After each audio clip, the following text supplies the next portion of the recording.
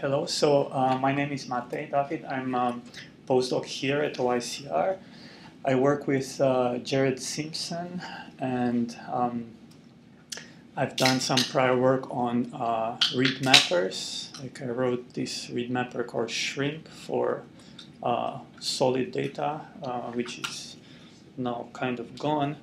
And these days I'm working on um, like de novo assembly um, combining long read technologies with like regular Illumina technologies. Um, and okay, that's me. Okay, so uh, in this module, we're going to uh, talk about reference genome assembly and um, some objectives. Uh, I'm going to try to explain the, the reference genome alignment, how it works. Uh, I'll, I'll, spend some time talking about uh, Illumina technology, sequencing technology, and um, in particular about the types of errors that you will see in this uh, uh with this data and like how those errors affect uh, uh, mapping and like the results that you're going to get out of um, out of uh, this analysis. Uh, we're going to learn some uh, alignment technology and we'll see these regular file formats like FASTQ and SAM and BAM. We're just going to have, have a look at those in the lab. Uh, and we'll actually run an aligner. Like in the lab, we actually have two aligners set up, so you can run both of them. Um, the lecture is two hours sorry, the lecture, the, the, the, module is assigned two hours, so I'm hoping to finish the lecture in, know, 45 minutes and then we'll just do lab. Okay, so this is the outline, what we're going to do, and let's start at the top. So we'll talk about Illumina sequencing. Okay, there's uh, lots of sequencing uh, um, platforms out there. Um, some are trying to address like high throughput things, so they produce lots of gigabases per run. Others are uh, trying to produce longer and longer reads. And this slide, I think it's from, oh, it says here 2014, so it is a bit out of date. In particular, Oxford Nanopore, which is this new technology, is not here.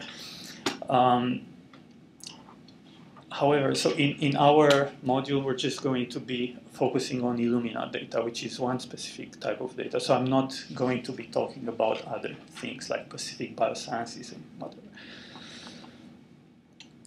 Okay, so let's just want to talk about the uh, Illumina sequencing processing first. Uh, just one uh, cautionary note, whatever.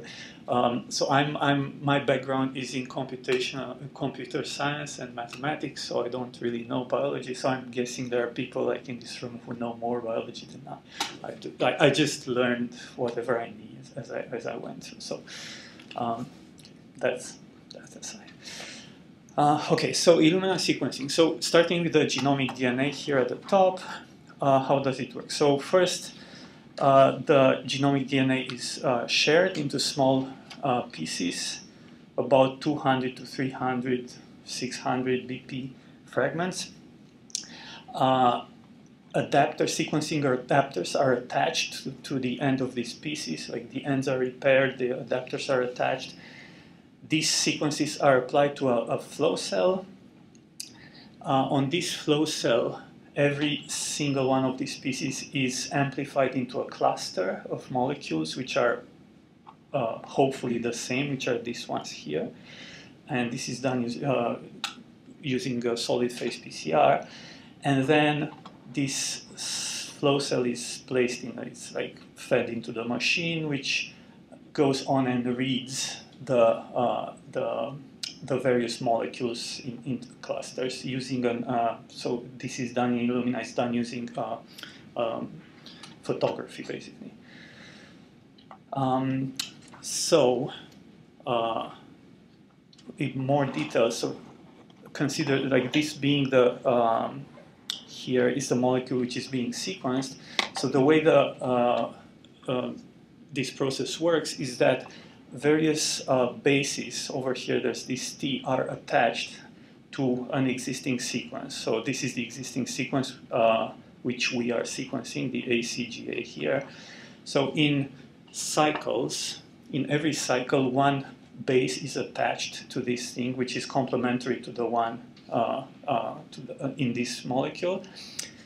And the bases that we're attaching, they have like a, a fluorescent dye on it, and a laser is shone on the uh, on all of these things, and all these clusters produce like small dots of color and this is what the machine sees. So like in the first cycle, the machine sees a blue light corresponding to this to the molecule that we're sequencing here. So this is this blue thing.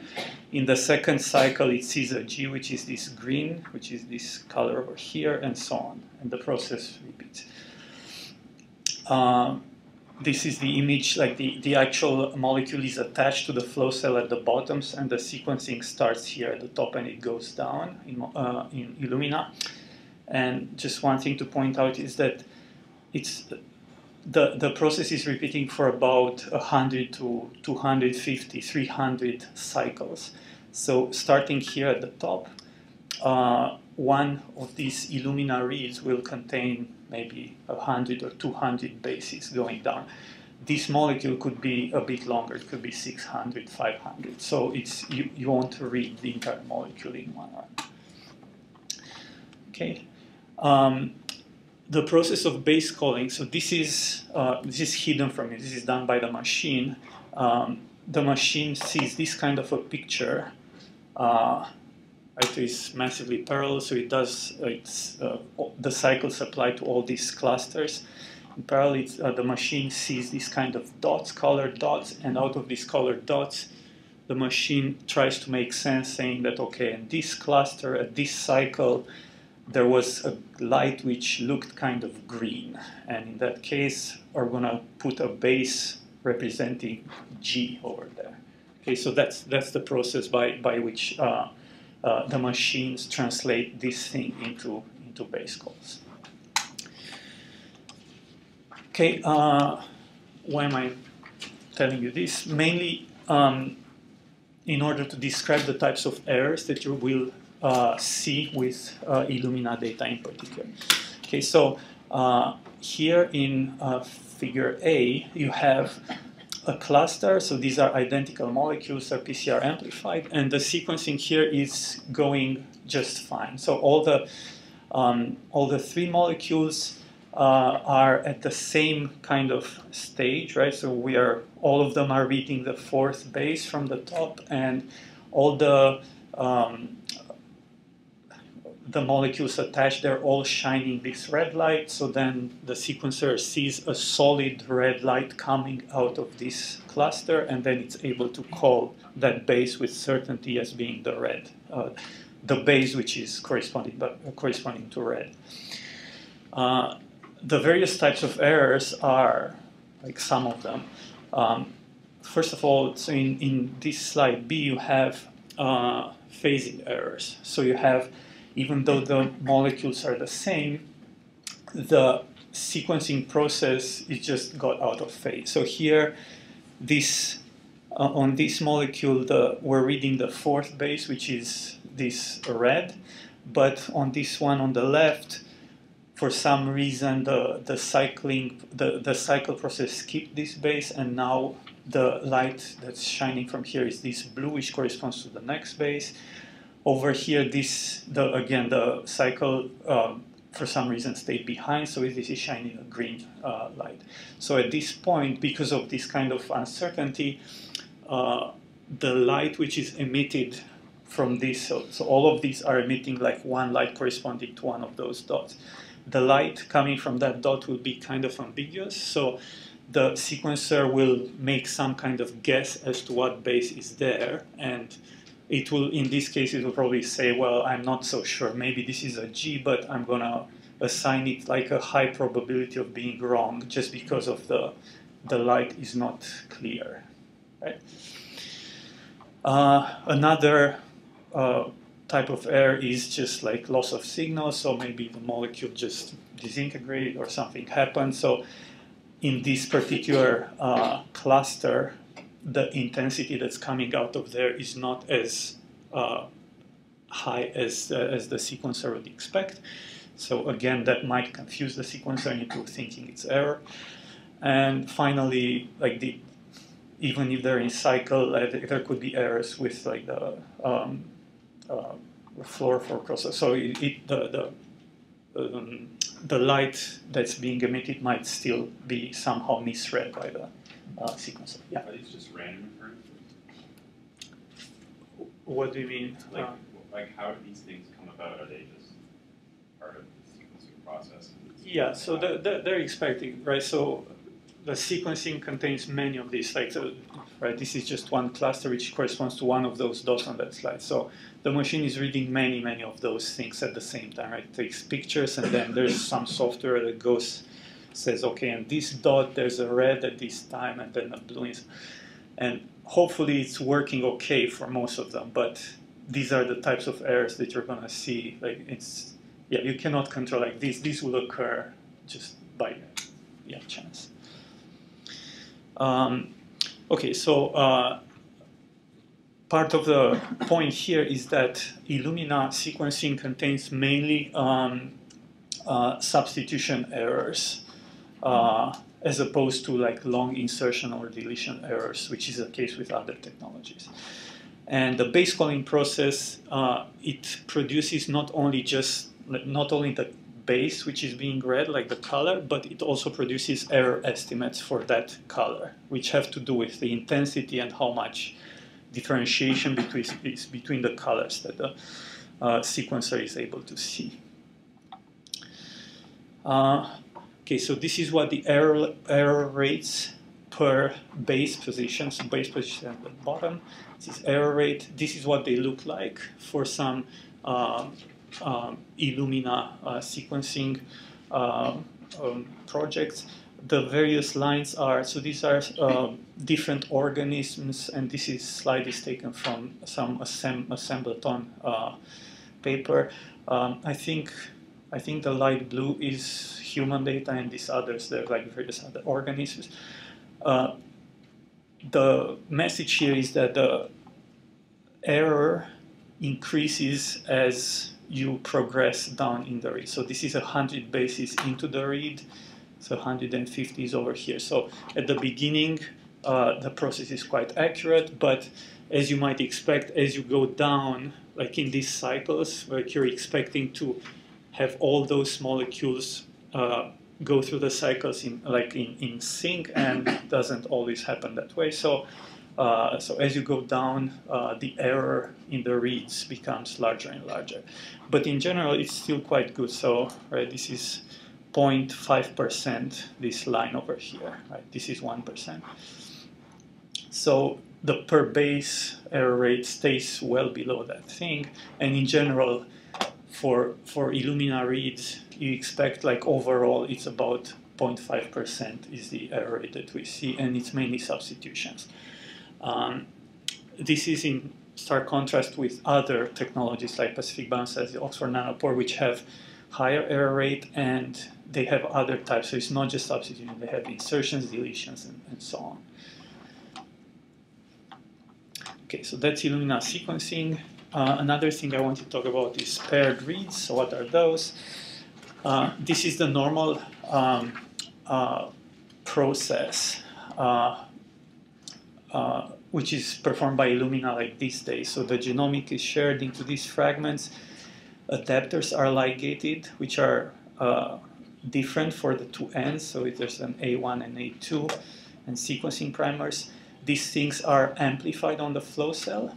And then every one of those molecules, which again are up to, let's say, 500 BP, they are read twice. So once that its uh, molecule is attached to this end and it's read from from the uh, from this end going uh, towards the flow cell and then in another in, in some other step the molecule is somehow it's, it's actually reversed and the cluster is regenerated and so on but the same molecule ends up being read uh, second time from the other direction.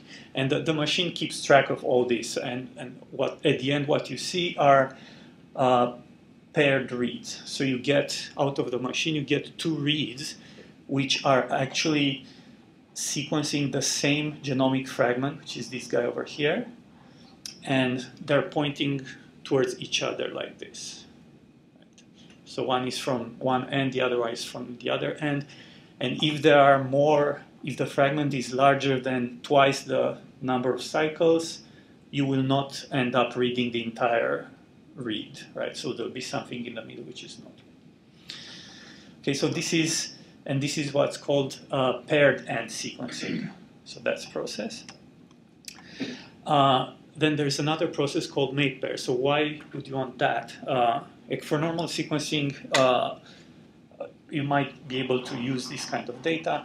This is uh, mate pair reads are used more for, uh, let's say, assembly of um, like novel, have like a new organism, you don't have a reference, you want to assemble this read. So uh, assembly makes, it's hard to do assembly with fragments which are up to 500 BP basis, just because the assembler will be confused by any repeat which is larger than that, basically. So mate pairs are one way to um, apply Illumina sequencing and obtain uh, sequencing data which is further apart than just 5, 600 BP. Okay, so the way it works, uh, again, you have the genomic DNA here, and this is fragmented into larger chunks. So now you have two to five uh, kilobases, like sometimes even larger, like 40 kilobases. Um, taking you take these fragments, there's a biotin uh, molecule attached to this end, and the fragments are then circularized, circularized so that they look like this. And then these circular molecules are then uh, shared into fragments, again, up 400 to 600, which look like this. But then at this point, um, the molecules which do not have the biotin are kind of washed away. So you, you're, you're keeping only those fragments which have this biotin marker in the middle. Okay, and then these fragments over here, they're fed into the regular sequencing over at this particular step. Okay, and then you go through this process. So what you're going to end up is, so if the original paired end reads look like this, so you have a genome, a genome region which is 600 BP, and it's being sequenced uh, in this. So you have the two arrows pointing inwards, kind of. This is the regular thing. For mate pair reads, you will have uh, the arrows will be pointing the other way, so like outward, right? So remember, this the biotin thing is circularizing, so that's why. Um, so you'll have two. Uh, you'll have two arrows which are pointing away from each other, and they're like much further apart than this other. So this is two to forty kilobases. Okay, so that's that's the difference between paired and and mate pairs. Okay, so if you ever encounter these kind of things, so that you know what they are. Okay, uh, let's talk about the FASTQ format. So this is what the format in which regular like Illumina reads are stored.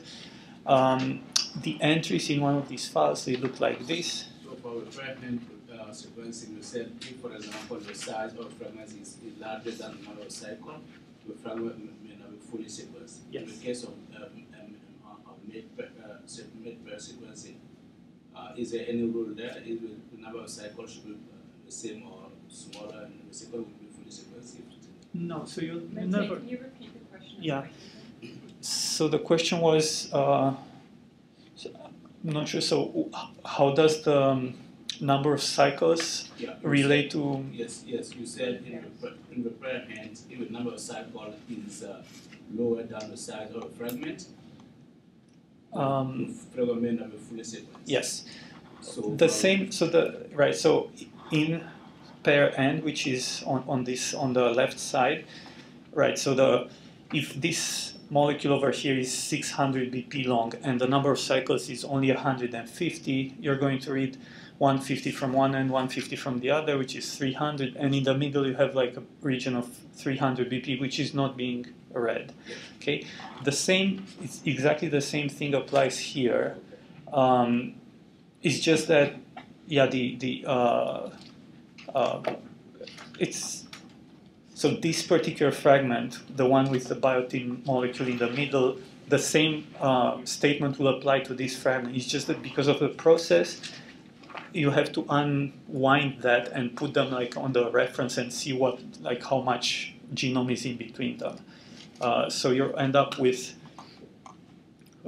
which yeah with reads that are like this. Again you have 150 and 150 on either side but in the middle you have like 40 kilo up to 40 kilobases okay. Um, okay FASTQ format. Okay so in in this uh, in FASTQ form uh, files the reads are stored so if you look at them we're going to look at them in the uh, lab so you have every read is stored on four lines. This is a, a read name, which so it's called a label, which sometimes contains encodes the position where that read came from on the flow cell. Remember the the square picture with the dot, so that might be encoded in the read name. Um, this is the read sequence, ACGT. It's a comment, and this is the quality uh, the score, the base quality values for that particular read. And this is this is a way to encode those errors that I was talking about. Okay, uh, in and within this is like a bigger FASTQ file, and you can see this is one read, this is a record for another read, and then another read, and so on. So they they're like uh, sequential within that file. It's the sequence data.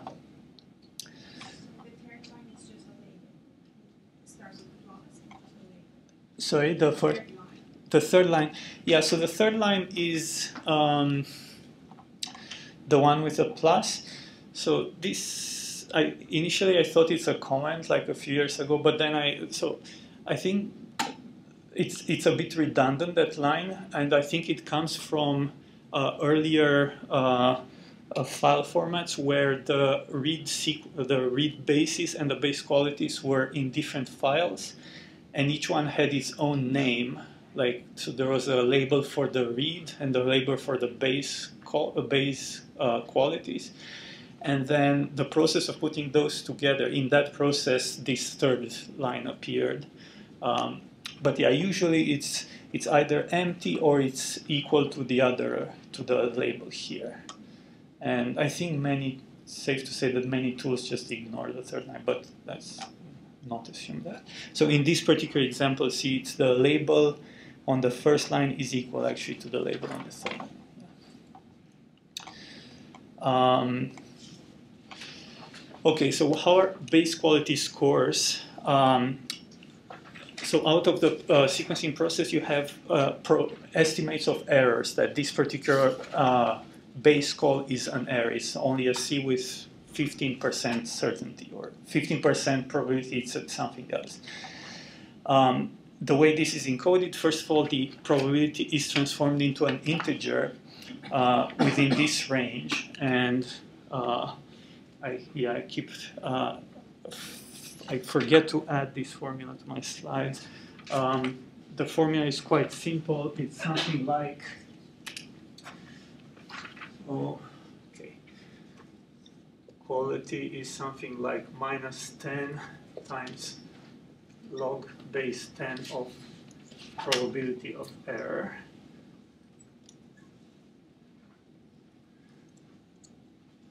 So using uh, this standard formula, so you take the probability of error and you apply this and you get like an integer um, quality value, which is in this range. And then this uh, these integers are encoded as ASCII characters within that file using two schemes. Like one is Phred plus 33 and Phred plus 64. And the reason is so that you become confused. That's why, because no, like the different companies use different encoding uh, schemes, uh, obviously. However, the situation is better these days. Um, so this is uh, on the FASTQ Wikipedia page. You have this representation of what the various characters, what qualities the various characters encode. Uh, so you have here the ASCII char uh, characters starting from number 33 to 126. And so under Phred plus 33 encoding scheme, you have these characters over here are encoding the qualities between 0 and 40. Um, so for instance, if you see in the quality values, if you see numbers, ASCII numbers like 0 through 9, you see that these do not belong to this other range, which is Phred plus 64, so you know that your data is encoded as Phred plus 33. If you ever see like smaller case letters like A, B, C, D, E, F, then that means the encoding scheme for those qualities is Phred plus 64, because again, Phred 33 ends over here, so it, it never makes it over. Um, these days, this is better because Illumina uh, which is the bulk sequencing, NGS sequencing, Illumina switched to Phred plus 33. So if you have like recent Illumina data, it's also encoded as Phred plus 33, just like all the other uh, sequencing uh, uh, data. In the past, if you if you ever look at older Illumina data or download it from like some public repository, you might have uh, the quality is encoded as Phred plus 64. Okay. Uh, paired and then mate pair. So how are these encoded? Uh, usually the corresponding reads, uh, they are given to you in separate FASTQ files, which are kind of in sync. So the first, the first record in one file corresponds to one read. The first record from the second line file corresponds to the second read of the same fragment, right? And then they go in sync like this. And rarely the the the um, uh, reads from the same fragment are interleaved in the same file, but that's that's not usual. And oftentimes, but not always, the read name is ending in slash one or slash two. So you might open one file and you see that all the read names end in slash one. And if open the other file, you see that all the read names end in slash two. But that, that's not always the case. Um, okay. So let's talk about reference alignment. It's all about uh, Illumina. Uh, so what's the goal? Why do we do reference alignment? So in general, we want to find reads that come from certain uh, genomic regions of interest, like genes. So we have a reference genome and we know where the genes are on that reference. We want to find the reads that come from a particular gene in the donor genome. Uh, so the goal again is to infer variations in the donor genome. Sometimes we want to uh, reconstruct the donor genome, so like to do assembly, and uh, some assemblers do uh, start by mapping the reads to the reference and then processing them from there. Uh, what are the main issues uh, with this? Well, first of all, eukaryotic genomes are uh, large and repetitive, and mapping to repetitive regions is very error prone. There's large amounts of data, and then there's all these differences. So between the reference and the donor that you're sequencing, you have SNPs, indels, structural variation. And furthermore, between the reference and the actual reads that you see, you have all these variation plus the sequencing errors on top of that. Okay, so there's all these things. So the, the alignment process has to allow for all these differences. Uh, the main steps, these, I'm, I'm, talking here about a generic alignment process, not about any particular aligner. Um, so the, the way this works is uh, the, the aligner constructs some kind of index of the reference sequence. So it takes the reference sequence, it processes it like once, and it creates some kind of structure uh, that it uses internally. And then for each sequencing read that you give, it identifies regions of interest for alignment. And this is the most uh, important step, and various aligners differ in how this is done. Like sometimes they, uh, some ask for exact matches of a certain minimum length, or for several matches in close proximity of a, again of certain length, and so on if pairing information is available, so if you have like a read paired end or mate pairs, this information is used by, by the smart assemblers to reduce this list of uh, possible alignment locations. Um, the third step, conceptual step, is to actually align the read to that particular, to all the regions where it might go. And this is a very costly step, right? So the speed comes from reducing this list using all sorts of heuristics. And then next, various aligners have varying stopping criteria, like some give you all the alignments for a read, some give you just the best alignment, and all these uh, um, options. Um, some aligners do again do they secondary alignments like maybe they split the read if it's a, a long read it 150 maybe it can report the aligner can report a mapping of 70 bp to one location and another 80 bp to like a completely different location that that kind of stuff split alignments.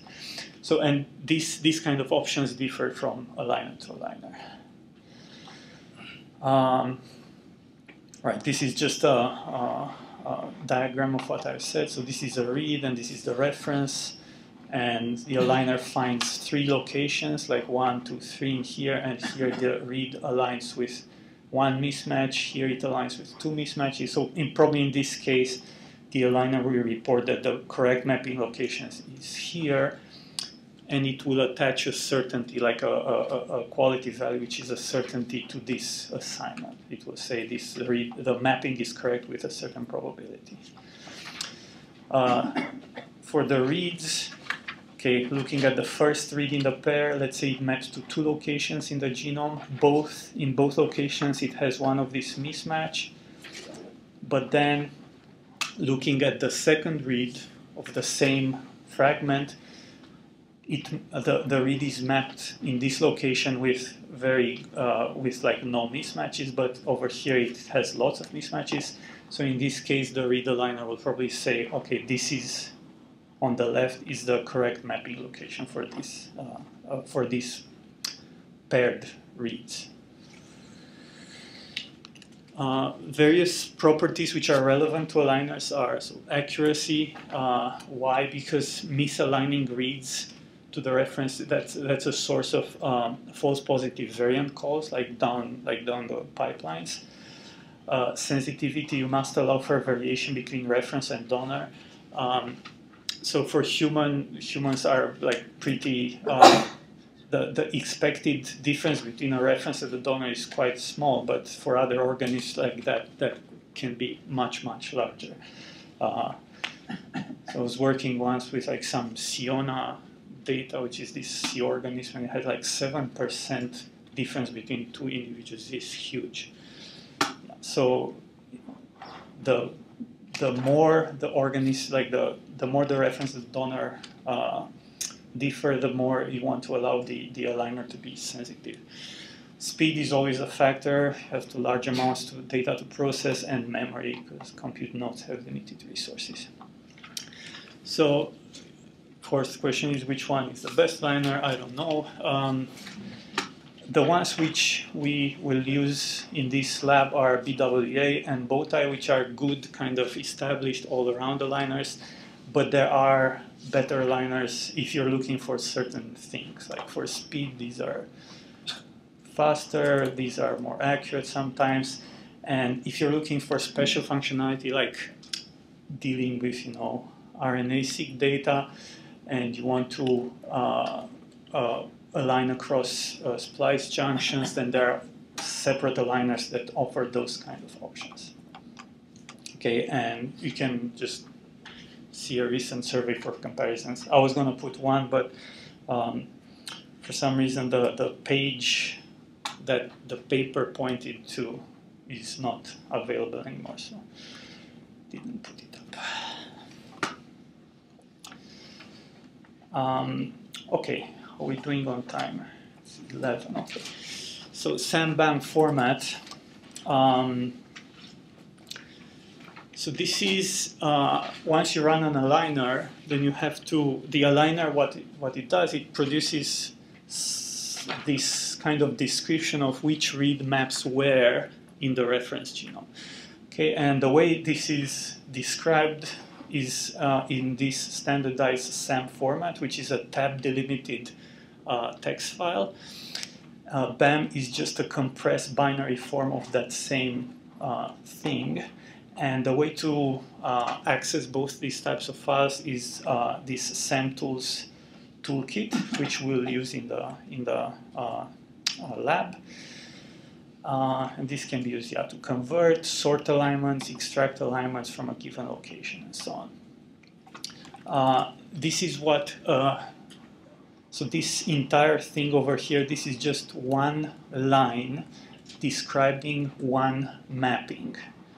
This is part of one of these SAM files. Okay, so this, this is just on one line. It's not, you know, five lines over here. I just ran out of space. Um, and the main things are, so this is the read IDs over here. This is a flag, uh, which is a numerical value, and this encodes things such as the on which strand of the reference that read is mapped to, like the forward or the reverse the pairing information for that particular read, uh, and some properties for the alignment. This is the main or supplementary or duplicate and so on. So these are all encoded in this integral value, and we're, we're going to look at this in the lab. Next two things are, this is the chromosome, so in this particular uh, case, the read is mapped to chromosome 19 of the whatever reference uh, position within that chromosome. A mapping quality, again, this is a Phred encoding of the probability the alignment location is wrong. So uh, this is one of the important ones. So again, uh, Phred is just this same uh, formula. So it's an encoding uh, of a probability of something being wrong as an integer. Okay, so in this case, 60 a Phred value of 60. So uh, to get the probability, you have to do the reverse of this, right? So probability of error is, uh, what is it? So it's q divided by minus 10 to the power of 10.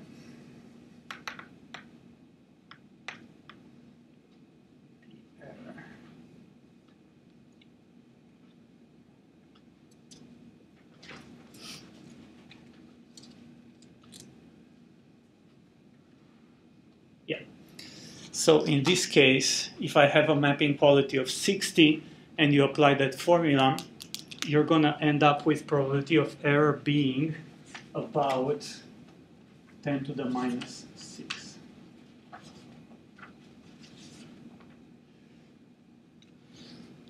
So the higher, of course, the higher the number, the better the map, the more certain the mapping.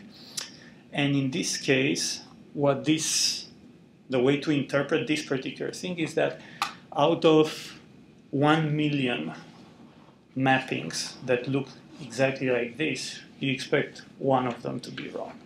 Okay, that's what 60 means. Um,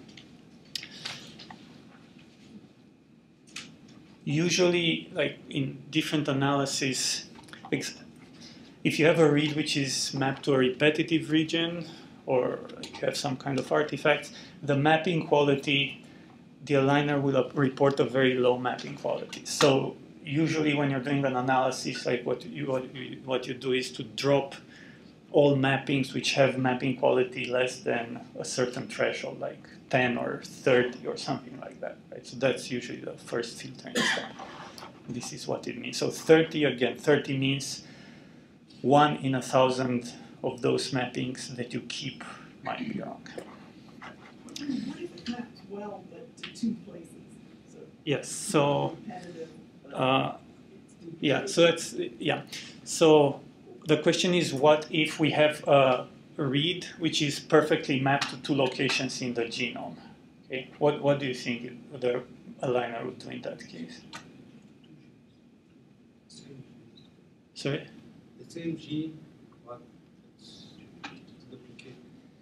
So, uh, so the, so the question is like, what would the aligner report? So, uh, you have the same read map to exactly ma- map perfectly to two genome locations. So, the, what it does, what the aligners will do, uh, if you're asking for the single best mapping location, which is usually the case. Like sometimes you list all of them, like you want to see all of the alignments, like especially for some projects you wanna uh, uh, you might want to do that. But if you're just asking for the top location, the mapping, the mapper will produce either of those locations and will assign it a quality of zero.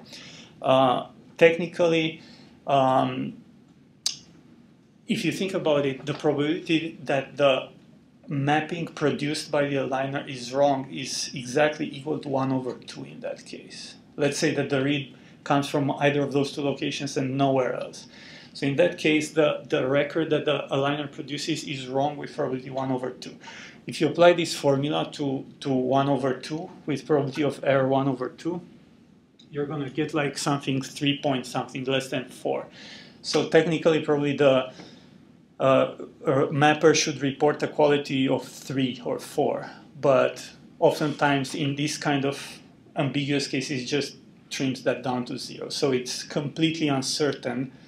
The mapper is completely uncertain that the alignment record that it reports is is it is completely uncertain about it. If I can just add. Yeah. quick- quick to that, um, some aligners have a, an option for reporting all the matches. Or most aligners don't, they just report the first match or a random match. Yeah. And the low probability for that mapping being correct. Um, if you, if you are interested for chromosome X, which does have a lot of repeats, in knowing all the positions, uh, that are in mapping, you can use, uh, you can change the parameters to actually give you that.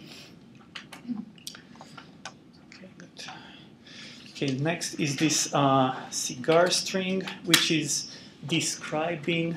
So remember, we have the read and the reference. So this cigar string is uh, describing the differences between the reference and donor in this particular mapping. So in the in this example over here, we have 76 matches. So this read sequence is matched verbatim to 76 consecutive bases of the reference. Unfortunately, this M doesn't tell you whether the base is uh, equal or it differs from the one that is being mapped to. So M, uh, M might stand for both bases being equal and bases being different. Okay, so you can't just like look at this and say that oh they're all equal. Um, these are some other cigar strings, like examples. This is a reference to the donor. So here you have four matches, followed by one deletion. So this is the cigar is with respect to the reference. So this base, this T over here is deleted in the donor, and then you have another six matches. Right? In this case, you have, uh, oh, here you have like one base which is inserted, which is this T, and you can see in this case that the first four bases they're not all equal. So the first four bases are mapped to the first four bases of the read. However, you have a difference over here between A and T, right? So and that's not captured by a cigar string. Okay, uh, the next fields in this uh, uh, um, entry are the positions, like the mapping positions for the mate, and this is equal means it's mapped to the same chromosome. This is position of the mapping for the mate read, and this is the fragment size. So fragment size, remember, it's that uh, uh,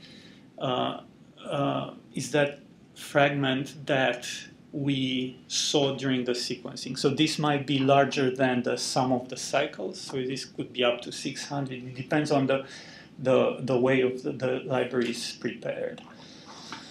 Okay, and then this is the read sequence, and these are the base call uh, uh, again qualities. So we're gonna see, we're gonna look at some of these files in the lab. And the last thing I wanted to uh, talk about in the lecture are some sources of errors, like in this whole process. Uh, first of all, when you start with uh, sequencing reads, the the reads that you get from the machine might be wrong in, in all sorts of ways. Okay, so you might have uh, base qualities which are lower than what you would like or what you'd expect, and those qualities could be low in certain positions in the read, or you might have some kind of contamination on the flow cell, like maybe there's some substance over there which is interfering with the se sequencing process or you can have overall base, uh, low base qualities.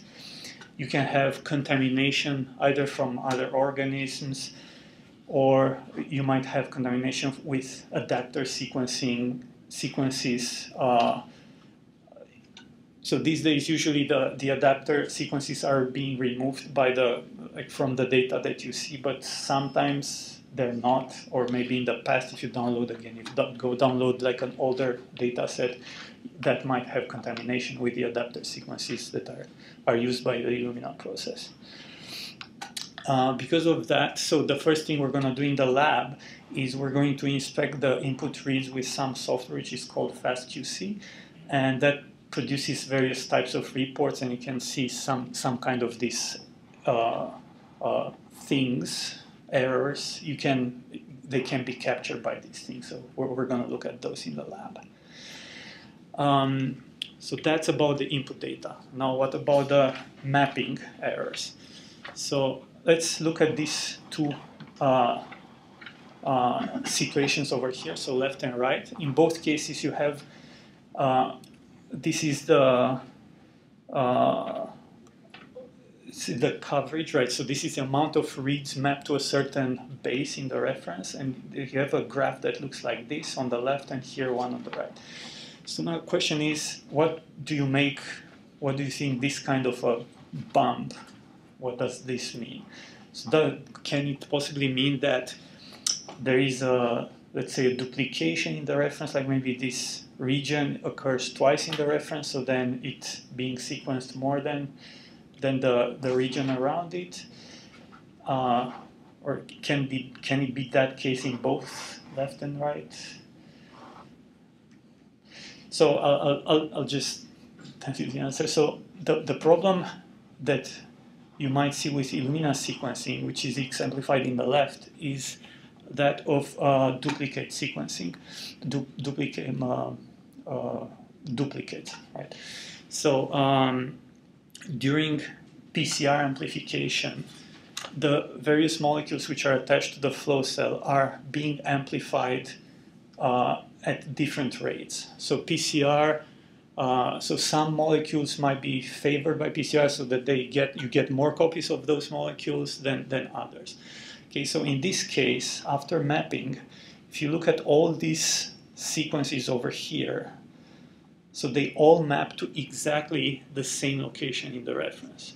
Okay, so that's like a big warning sign that all of these molecules might come from the same fragment before PCR amplification.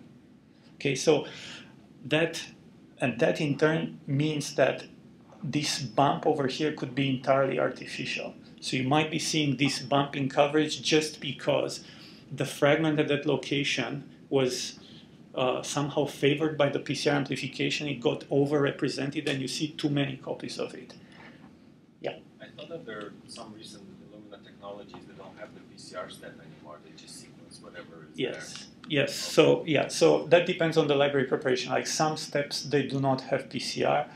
Um, others do. So I, I'm just telling you. Yeah. If you if you have PCR steps, you might have you you might have this kind of stuff.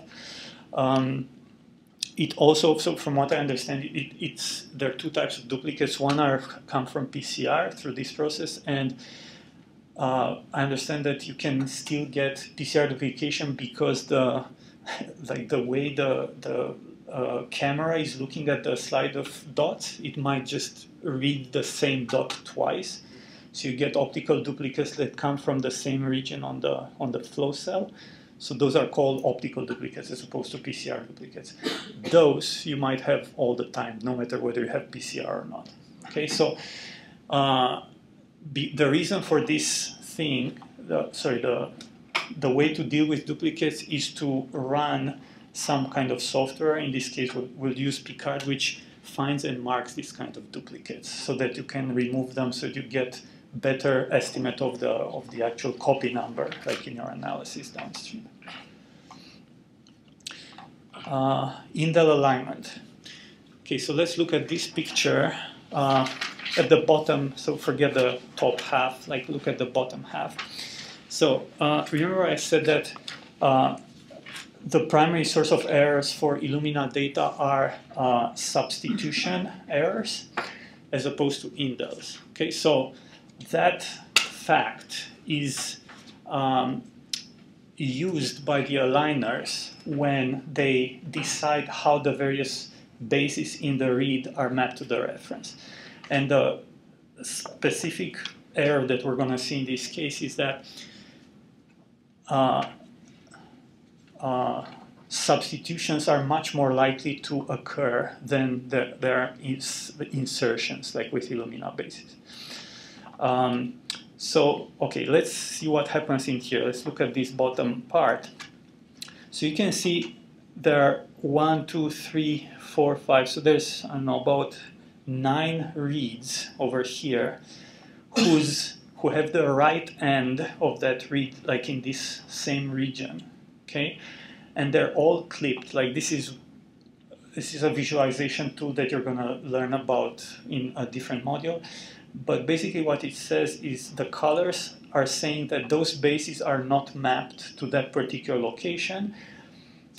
But what's weird is that all the reads in this region that end here have the same like right see the bases are the same like the colors are the same, they're aligned.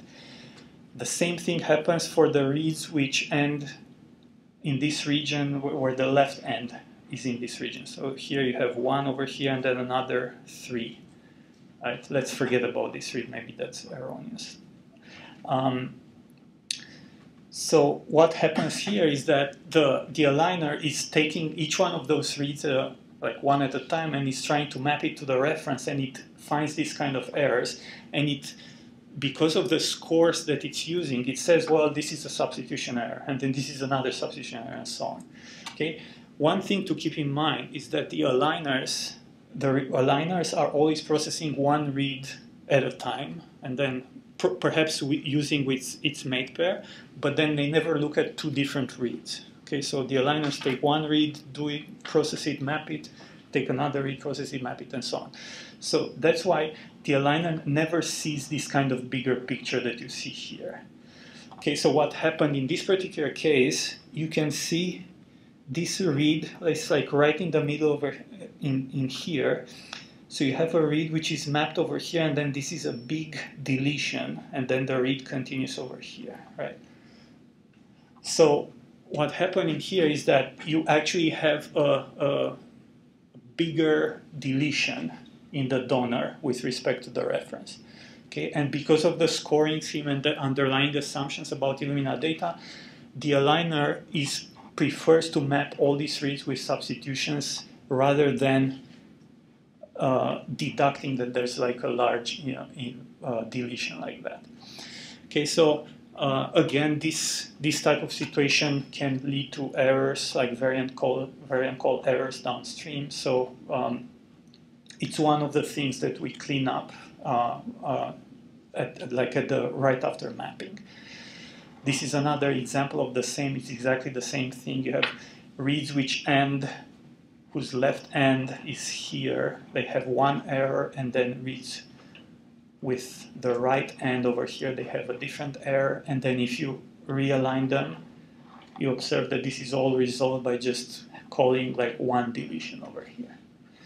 Okay, um, the software which does that, which we're going to use, is called GATK. It's like a standard tool, and that software it will be able to it's able to look at all the reads mapped to a certain region of the reference and realign them locally. So again, this is something that the aligner never sees. The aligner only sees one read at a time, so it's never able to to do this kind of inference. Okay, and then the last thing is novel sequence, and this is the hardest kind of to deal with. So when you have a, a reference genome and a donor, most of the donor reads will map somewhere in the reference, okay? But you will always have regions in the donor which are completely not represented in the reference. Like they're just not there, just because because of differences or maybe the reference is wrong. So for that reason, you might have, like in this image, let's take this example. We are this see this red dot over here, the red bar that signifies that the region we're looking at is right next to a centromere in chromosome 2, in this case this is chromosome 2. So it's next to the centromere of chromosome 2 and you have this kind of uh, um, coverage map, right? So this every line here is a read map to this region and you have these bumps and over here you have some really huge bumps and so on. So what's happening here is that uh, most probably the donor and the reference, they differ in the number of copies of some of those really repetitive regions next to the centromeres, right? So maybe the um, maybe the donor has more copies, and what happens if, if you have that, you have more reads coming from those regions, and then the aligner will try to force those reads to be mapped somewhere in the reference, but it doesn't have that many uh, um, possibilities, so then it ends up creating these huge bumps in these areas, which are lots of donor reads mapped to the same location.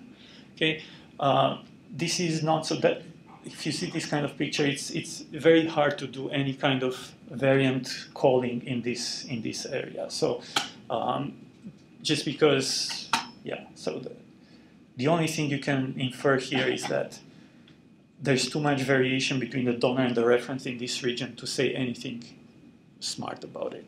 Um, this is so this picture is only showing the situation with some uh, repeats in your centromere region, uh, but in the donor you might have completely novel sequence which is not representing the reference and it doesn't have to be repetitive. Okay, uh, when you're trying to map it to the reference, that those reads might end up being mapped to like completely wrong uh, things. Okay, but that's uh, that's something you really cannot do anything about, right? Because you're just trying to map to a reference and you have sequence which is not mapping there, so you, you, you don't know what to do.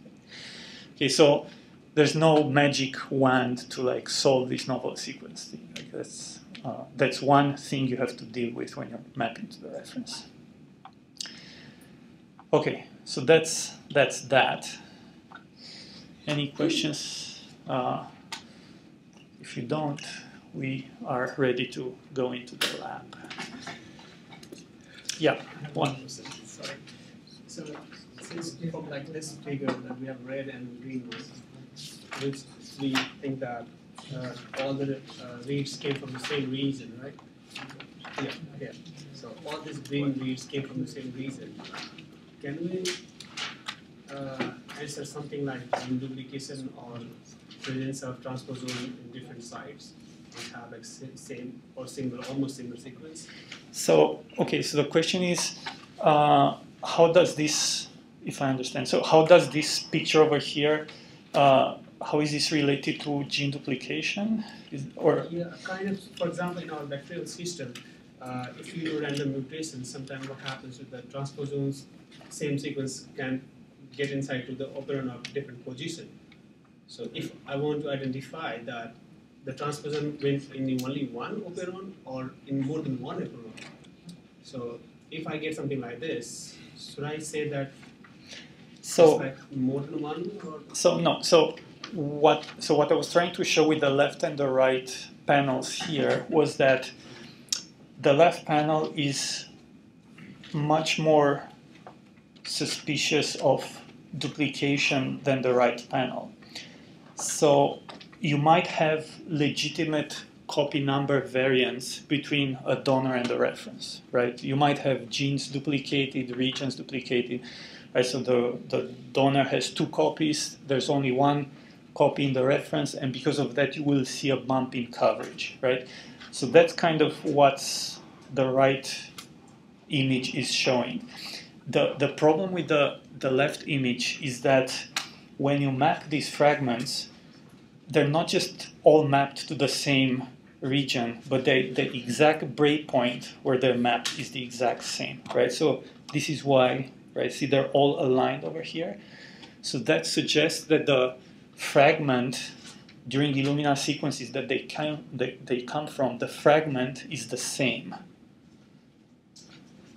And again, that, that's an inference. It could be, of course, it could be then you take the, G, the genome DNA, you shear it, and you have two copies in the donor, and it so happens that the sonication, whatever, produces the exact same fragment with the exact same breakpoints, and you have two copies of that. That's, that's also possible, uh, but it's more likely in this case that if you have the exact same breakpoints, that they come from the same fragment prior to PCR. So that's why we call them duplicates.